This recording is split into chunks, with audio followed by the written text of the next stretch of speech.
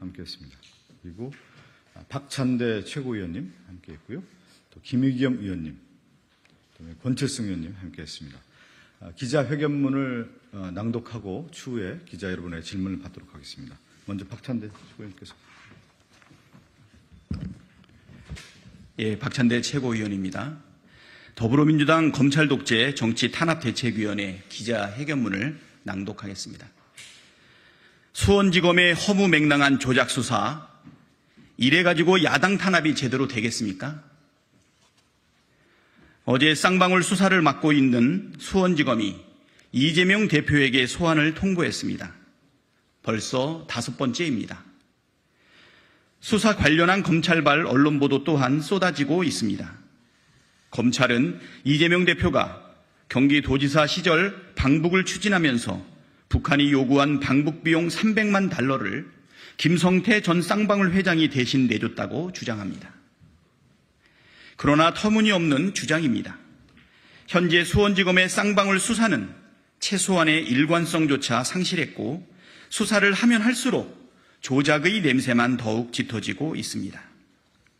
검찰이 제시한 공소장을 분석해 보면 돈을 주게 된 과정, 돈 준 시점, 장소, 돈 받은 사람 등 가장 기본적인 사실관계조차 오락가락 뒤죽박죽 엉망진창입니다. 하나로 하나도 제대로 맞는 게 없습니다.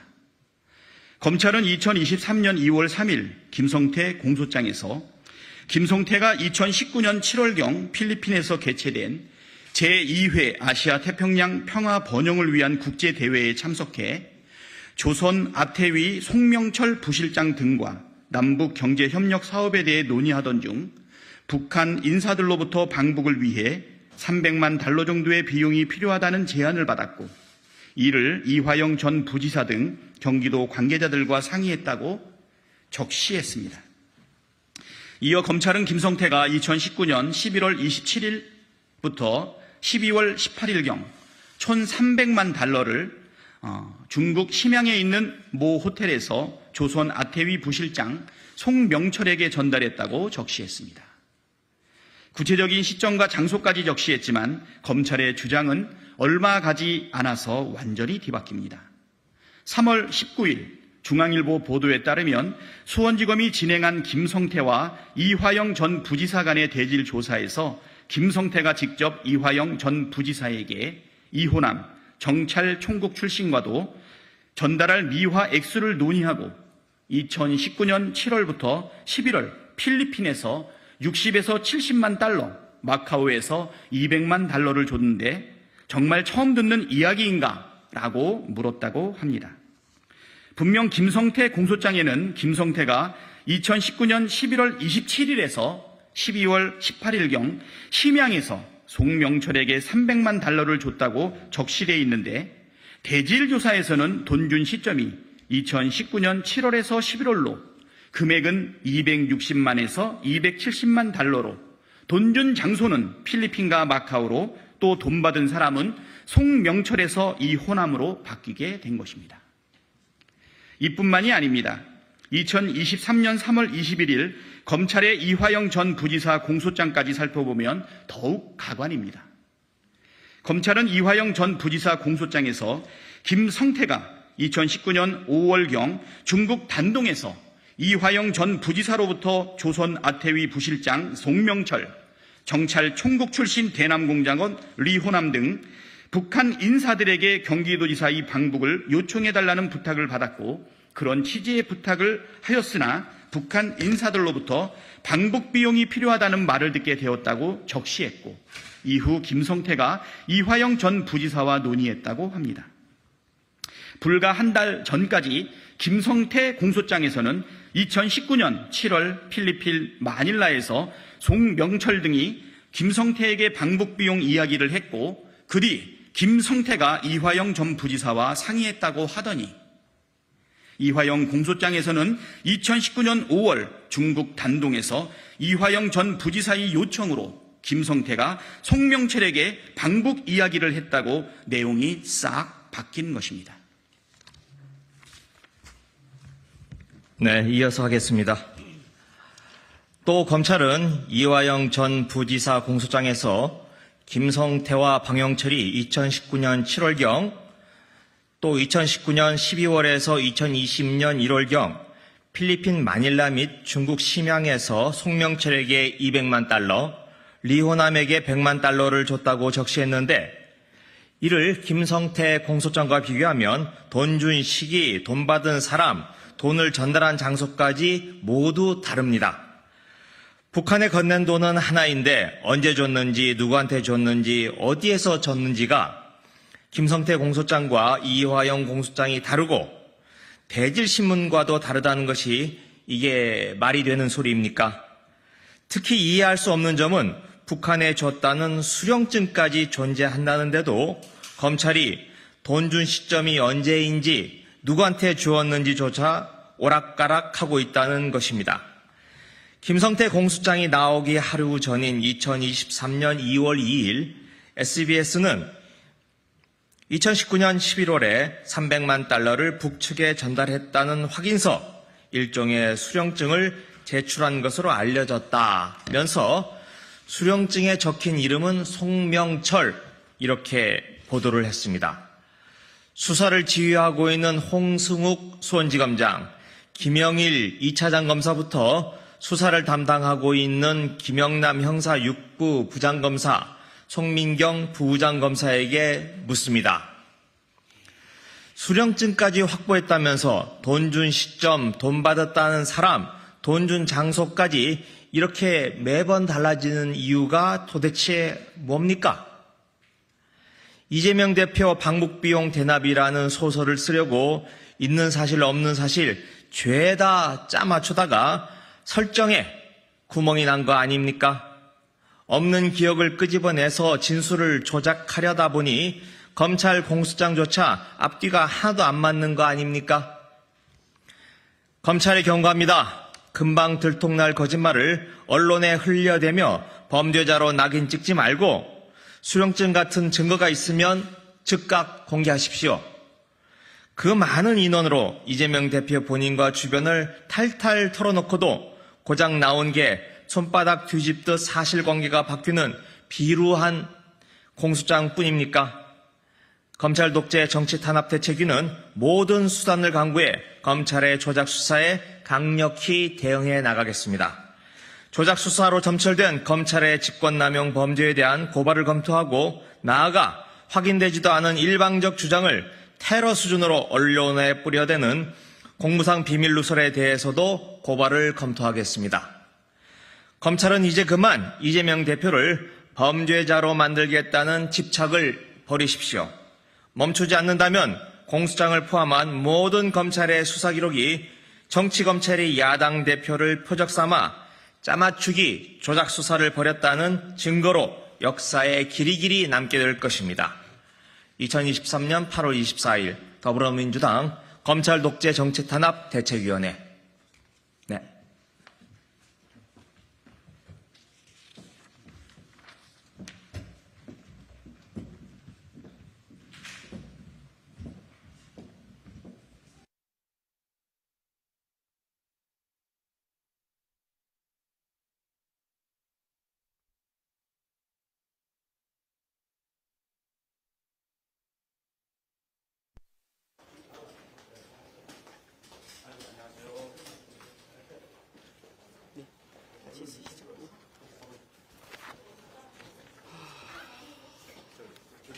아 그래? 수석 대표님 이쪽 쓰셔야 되겠네. 예. 검찰 독재 정치 탄압 대책 위원회 공동위원장 예, 박찬대 의원입니다. 아, 지금 막 어, 기자회견문 낭독하고 나왔는데요. 혹시 질문 사항 있으시면 네 간략하게 예, 질문 답변 드리도록 하겠습니다.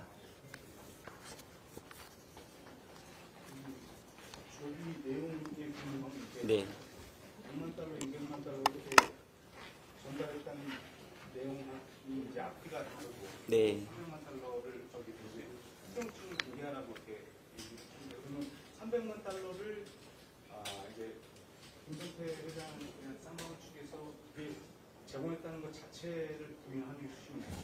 글쎄요, 일단은 검찰의 기소장 자체가 사실관계도 제대로 파악되지 않은 상태로 여러 차례에 걸쳐 가지고 돈 준 장소, 돈 준 시기, 또 돈을 받았던 사람들에 대한 내용들이 갈팡질팡하고 있지 않습니까? 김성태에 대한 공소장과 이화영에 대한 또 내용, 그 다음에 대질신문에서도 지금 나와 있는 이런 부분들이 이렇게 빈약하다는 것이죠. 그러니까 저희가 말씀드리고자 하는 것은 300만 달러를 북한에 제공했는지 여부 이 사실관계에 대해서는 우리가 알 수는 없는 내용이고 다만 사실관계를 철저하게 수사하고 그거를 기초로 해서 기소하거나 소환하거나 혐의를 이렇게 추정을 해야 되는데 검찰의 이렇게 갈팡질팡한 사실관계에 대한 미파악조차 살펴본다라고 하면 대북 송금과 관련해서 이재명 대표를 연결하는 것은 황당하다 못해 전혀 근거 없는 내용이다 이런 생각이 들고요. 우리 탄압대책위원회에서 여러 번 이야기했지만 거듭되는 국정 실패와 민심 이반에 대한 사실 대책으로 어, 야당 특히 이재명 대표를 탄압하고 있다. 지금 이렇게 말씀드리겠습니다. 뭐 저도 네 저도 좀 덧붙이겠습니다. 어, 지금 김성태가 귀국을 한 게 7개월이 넘었습니다. 어, 수원지검 수십 명의 검사와 수사관들을 동원해서 오랜 기간 방대한 분량을 가지고 수사를 했습니다. 그런데도 지금 자신들의 만든 공소장조차도 이렇게 앞뒤가 안 맞고 오락가락하고 갈팡질팡하다. 이건 두 가지 가능성이 있습니다. 첫 번째는 아예 없는 사실을 만들려고 하다 보니 이런 무리가 따르는 거고 또 다른 가능성은 검찰이 지독히도 무능하다는 겁니다. 둘 중에 하나 뭐가 문제인지 검찰이 스스로 돌아보시기 바라고 하나 덧붙이자면 이재명 대표 소환이 벌써 다섯 번째입니다. 제1야당 대표이고 직전에 대선의 경쟁자였습니다. 그런 이재명 대표를 동네 강아지 부르듯 이렇게 다섯 번이나 부르는 게 이게 도의와 상식에 맞는 건지 묻고 싶습니다. 그리고 그나마 우리 언론 에 계신 분들도 그렇습니다. 중요한 사건을 취재를 하고 그걸 기사화를 하려고 하면 기초 사실관계 확인하고 어, 그리고 마지막에 가장 중요한 멘트를 딸 사람은 제일 마지막에 남겨놓고 그리고 마지막에 전화를 합니다. 그런데 이게 뭡니까? 다 그렇게 하고 부르는 줄 알았어요. 그래서 나가겠다. 내일, 아, 내일이라도 당장 나가겠다 했더니 준비가 덜 됐다라고 합니다. 이건 그냥 언론계에서 기자들도 안 하는 방식입니다. 검찰의 무능함과 무례함을 보여주는 사례라고 생각을 합니다. 김성태 일단 다른 분 질문을 좀 더 듣고 하시면 어떨까요? 그 어제 뭐 언론으로 통해 보면은 이제 의원님도 소환수사 검토하고 있다 이런 얘기가 나왔었는데 혹시 통보 받으신 사실이 있으신가요? 네, 통보 못 받았습니다.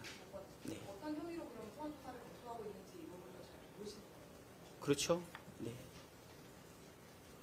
네. 오히려 언론사에서 짜고 있는 프레임이 있지 않습니까? 네.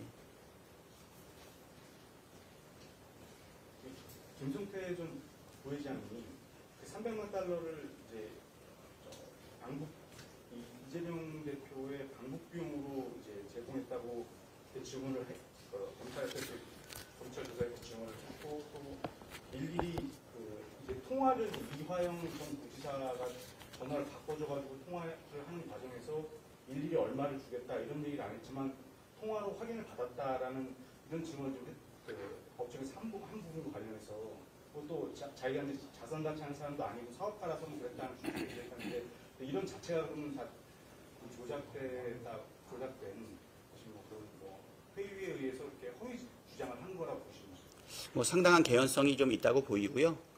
어, 김성태의 주장대로라면 북한에 800만 불을 건넸다는 거 아니겠습니까? 어, 그런데 지금 검찰이 기소한 내용은 외환관리법만 지금 기소를 했어요.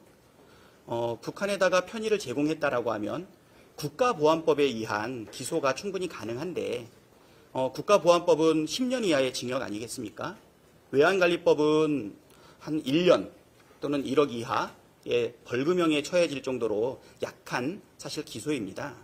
김성태 입장에서는 언제든지 더 중한 형량을 부과할 수 있는 기소거리를 남겨놓은 상태에서 어, 사법적 이익을 위한 어, 정황을 지금 만들어 놓은 상황 아닌가 이런 생각이 들고요.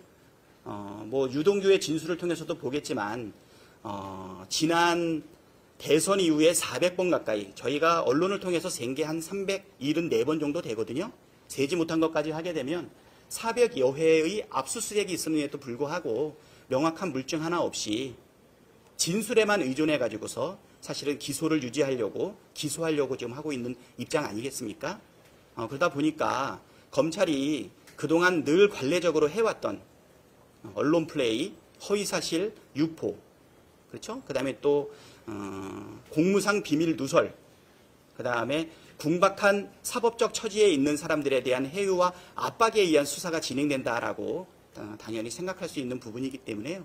예, 검찰이 주장하는 그 내용의 깊은 내용까지 우리가 어, 바깥에서 살펴볼 수는 없지만 충분히 그런 의구심을 가질 만한 개연성은 충분하다 이렇게 말씀드리겠습니다. 전화를 바꿔준 사실이라든지 전화에 그런 얘기가 한 사실 자체는 예, 글쎄요, 그건 제가 잘 모르겠습니다.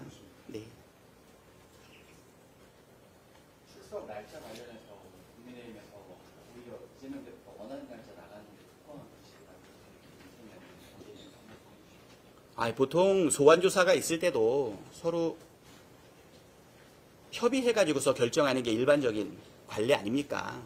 근데 어, 이 부분에 대해서 야당의 대표이고 사실 여러 가지 어, 일정도 많이 있는 상황에서 당연히 조정하는 게 맞는데 검찰 쪽에서는 30일로 일방적으로 못 받고 들어오라고 얘기하고 있지 않습니까? 아, 그래서 다음 주에는 일정이 도저히 안 되니 빨리 진행하자. 그리고 비회기 기간이 아직 남아있지 않습니까? 충분히. 그렇기 때문에 오늘 아침에 나가겠다고 제안을 했는데 그 부분에 대해서 검찰의 답변이 좀 상당히 황당하다는 거죠. 준비가 안 되어 있다라고 얘기하는데 보통 소환하기 전에 준비를 다 해놓고 일정만 조정하는 게 관리 아니겠습니까? 예. 그것은 30일 날 나와라라고 얘기하는 것은 어, 자신 없으니까 비회기 기간에 영장 청구하지 않겠다라고 하는 의지를 보인 것 아닌가 생각이 되고요. 어, 그래서 오늘 들어오는 거에 대해서는 어, 검찰 쪽에서 공식적으로 부인을 했기 때문에 추가적으로 또 일정을 더 조절해야 될 거라고 생각이 되고요. 어, 이재명 대표께서는 전에 또 말한 것처럼 당당하게 방탄국회를 열지 않고 비회기 기간에 영장이 들어오게 되면 77심사 받겠다라고 하는 의지를 그대로 표명한 것이다 보시면 되겠습니다. 김성태 전 그저께 그 법정에서 어, 이재명 대표에게 쪼개기 방식으로 이렇게 1억 5천을 후원했다고 이렇게 증언했다는 그 법정 증언이 나오는데 이 부분 좀 사실관계나 어떻게 보시나요? 음, 그 부분에 대해서는 예, 뭐 추가적으로 아마 입장을 아마 밝혀 밝히도록 하겠습니다. 예. 그리고 이제 김, 그 김성태 전 회장이 이태영 변호사 선임이나 또 어, 이제 나승철 변호사 예. 그리고 조계훈 전 정책수석을 이렇게 아, 그- 그- 그- 사회에서 한게 이 대표를 지원하기 위한 거다라고 이렇게 지원한 부분에 대해서도 아, 그렇게 김성태의 일방적인 주장에 대해 가지고 예, 그 법무관계에 직접 관여하고 있지 않은 어, 우리한테 일일이 물어보고 답을 구하는 것은 적절하지 않은 것 같고요. 그거는 적절하게 변호인들을 통해서 답변을 드리는 게 맞을 거로 생각이 됩니다. 다른 질문 혹시 또 있으신가요? 그럼 이 사, 이 사, 저 대북 송금 수사 사건에 대해서 지금 구속영장의 어떤 날짜나 어떤 이제 그, 그 협의가 좀, 좀 어제 어제가 지금 계속 논란이 되고 있는데 그 이게 구속 수사 사안으로 보시면 그 구속 수사는 뭐 이렇게 증거 인멸이나 아직 아직 저 영장 단계 아니에요. 소환 단계입니다 그 지금. 소환 단계인데 지금 네. 구속영장을 가지고 언제 청구해라 이런 얘기를 하고 있는 거 아닙니까? 그렇다면 이제 구속영장을 청구해서 구속수사를 할 사안을 모시고 있느냐?